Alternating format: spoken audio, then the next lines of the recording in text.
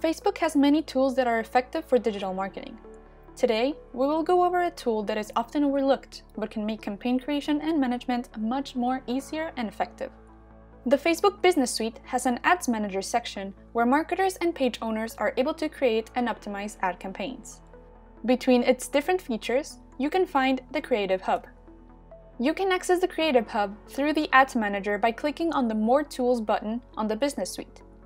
Once you're in, you can find the Creative Hub by clicking on Business Tools and selecting its icon. The Creative Hub is a place where you can plan and visualize your ads before actually launching them or even creating any campaigns. The platform lets you explore a range of creative ad formats and templates to bring your ideas to life. Also, you can rest assured that there is no limit as to how many mockups you can create. You can start using the hub by creating your first mockup by clicking this button right here. Once this page loads, you will see all the necessary tools and fields that will help you get started with your ad. First, we will name our ad mockup and select the page it is destined for. Then, you can choose between two distinct formats, the still image, video, or image slideshow, and the carousel format with scrollable media. We can then move on to the default mockup section, which defines what will be visualized as your ad on the panel to the right. Let's add an image to my ad. When you upload your image, you can choose the way it will be displayed throughout different placements. It's likely your ad won't properly fit every single one, but you can select them individually and crop them the best you can.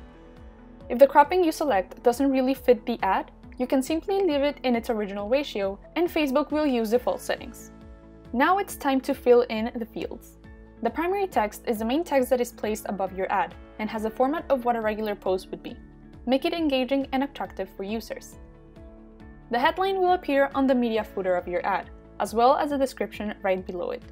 These two appear as optional, but we highly recommend their use.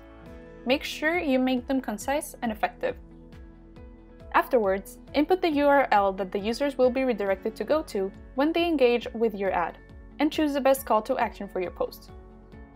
There is also a second URL field where you can input a user-friendly version of your link, which won't affect the final destination at all. Finally, you can scroll through the visualized ads to the right and analyze how your ad will look. And now, you're done creating your mockup.